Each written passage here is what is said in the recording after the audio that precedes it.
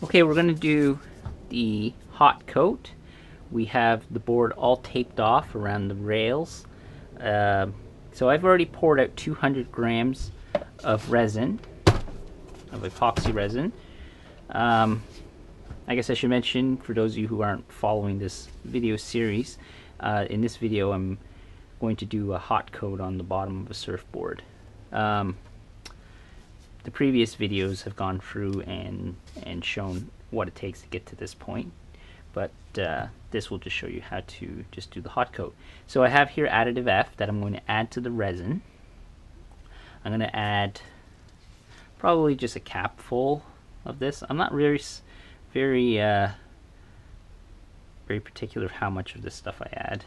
It just helps for thinning um, not thinning out it's a surfacing agent and it really helps with fish eyes or um, I guess surfacing issues with uh, epoxy. Um, anyways, this is called additive F, additive F, and it has xylene. So I'll probably wear a respirator soon. It's pretty stinky stuff. Um, so what I'm going to do, I'm going to mix this up, preferably with a clean stir stick. So I've done 200 grams of resin. Most accurate way is to weigh it out. And then I'm going to do 100 grams of hardener. And when you're mixing your epoxy, don't whip it around, as I mentioned in my other videos. You want to scrape the sides, but you don't want to be like whip, whip, whip, whip, and whip and impart air in it, especially during the hot coating. I'm going to rest it on my radiator, on the heater here for a bit, and just let it warm it up, because it's a little cold out today. Probably shouldn't be hot coating today, but I am, and I'm just gonna hot, uh, warm up the resin a bit just to make it a little bit make it a little less uh, um, thick. Gonna make it so that it flows on the board nicely when I'm working with it um, even though the board is just a little bit cold. So I'll come back after about 10 minutes once it's warmed up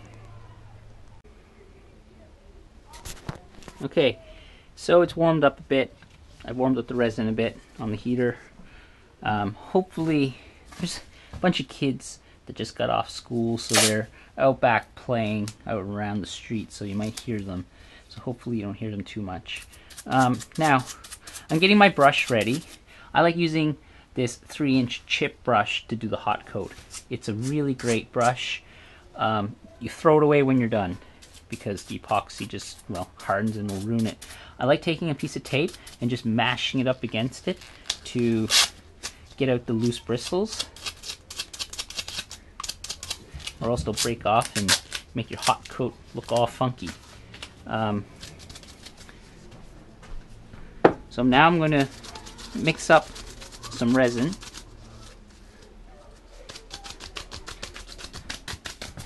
Put my brush over here.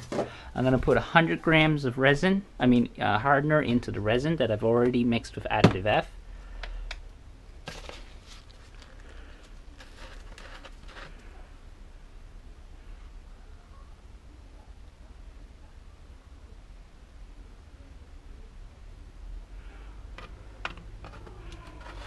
Okay, so now we're just going to mix it up. Again, don't whip it, just stir it, scraping the sides, mix it thoroughly.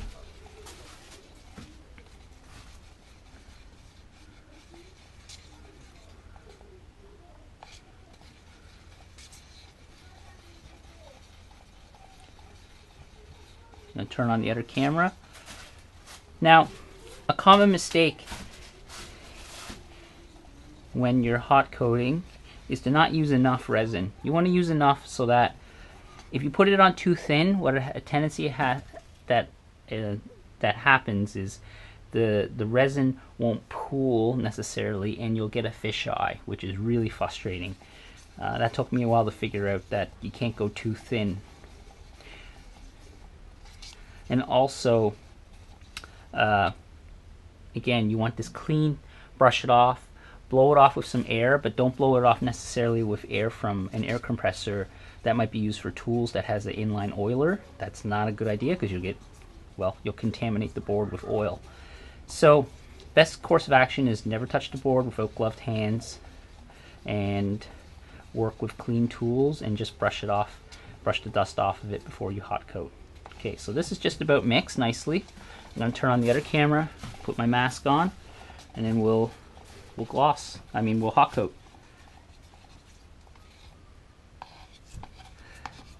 And I'll just talk a little bit about technique here. So hopefully that's recording. That's recording. So the te technique to this is we're going to pour it all out again because you don't want to leave it in the pot. Then you're just going to work it all out. Back here we're going to leave a little bit extra just so we have an edge to, to grind, to sand. And we're going to work up and down the board, and we're going to work left and right. So we're going to do this like that, one way, and then we're going to go the other way. And we're going to go around the board, around the edge like this. And that's it. Once we're done, we're done. Don't mess with it anymore. The temptation is if you have a little imperfection to go back once it starts curing to kind of try to smooth out the resin. Don't do that. You'll just end up messing it up causing you more work later. It's better just to leave it and add mix up some resin later and just fill it in. Okay. Just gonna get rid of this. Put my respirator on.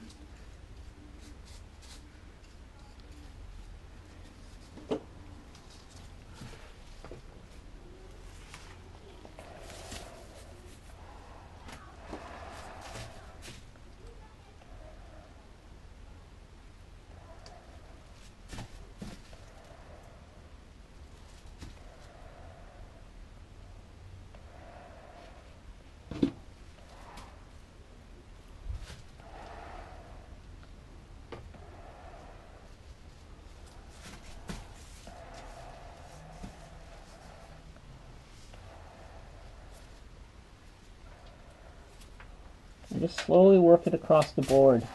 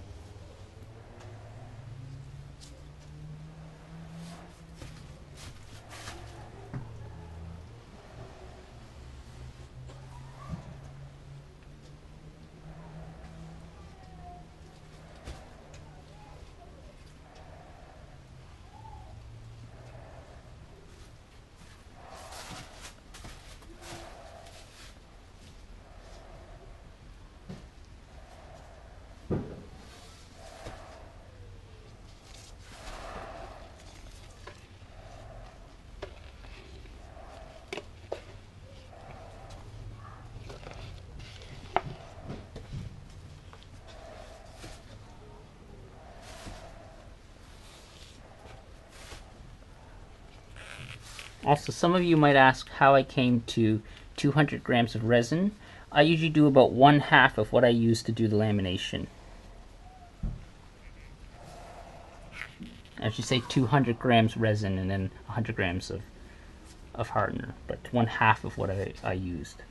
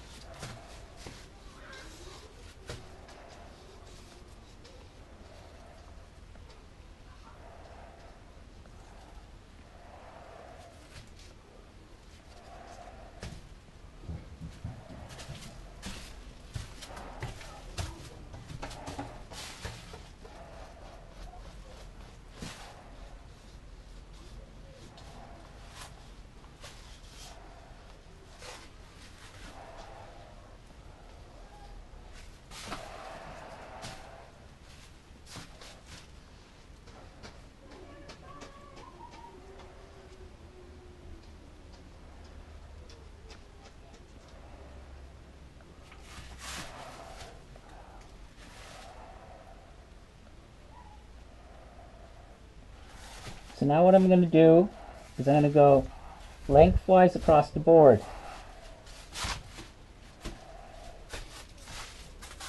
I'm going to try to smooth this out as best we can.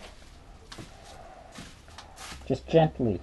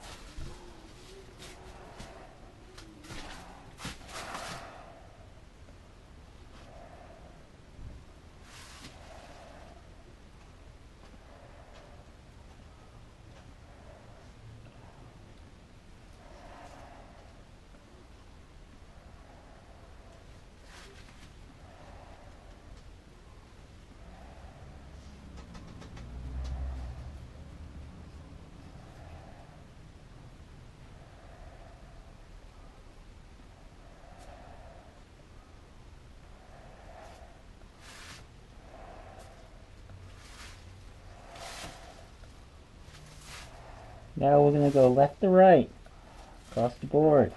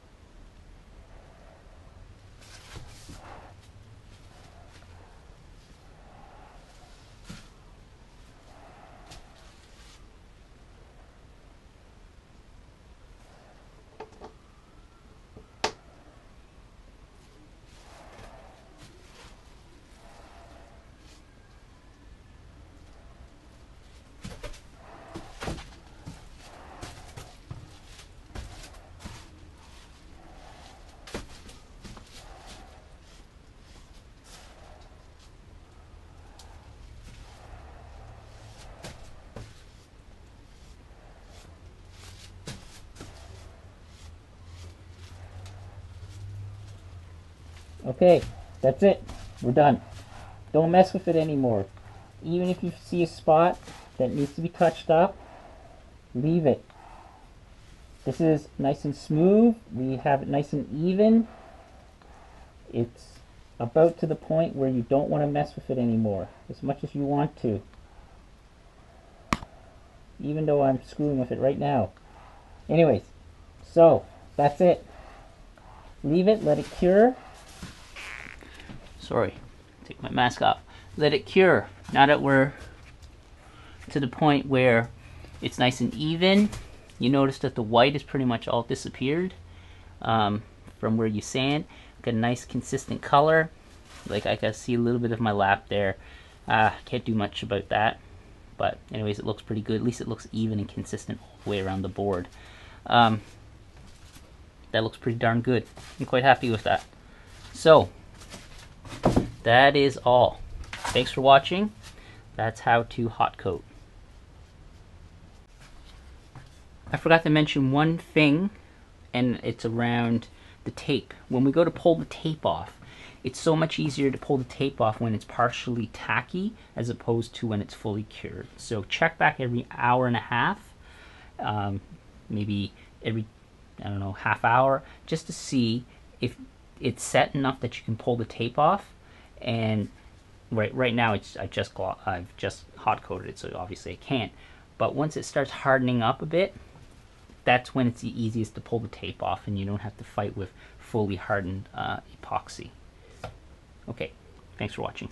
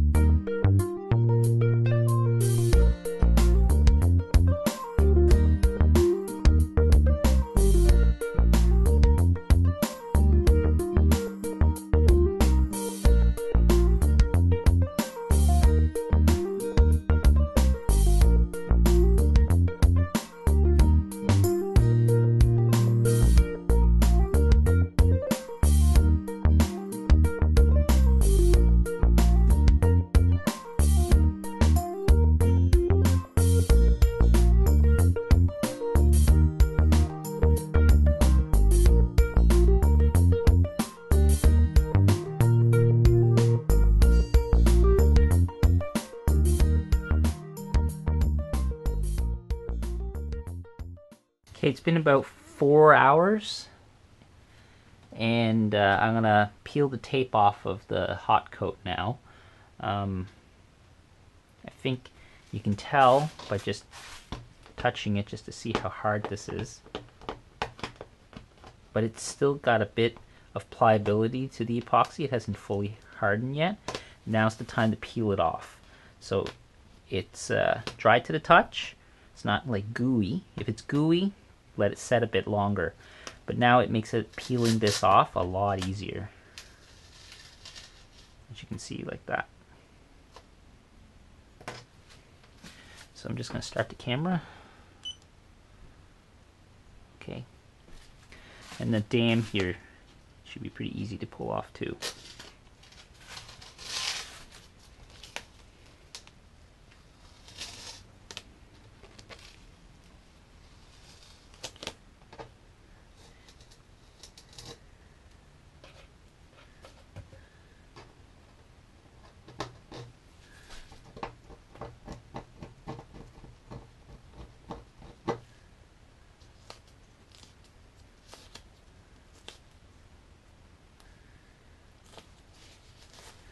Need the glove at the moment.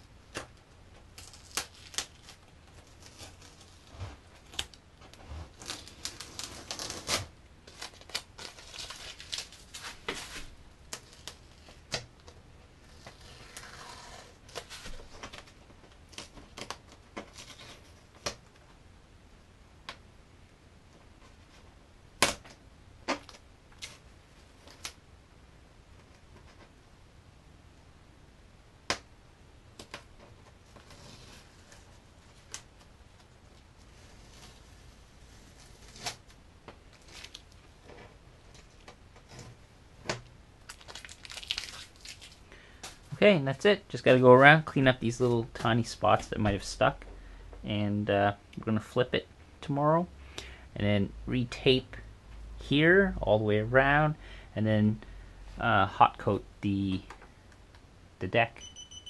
All right. Thanks for watching.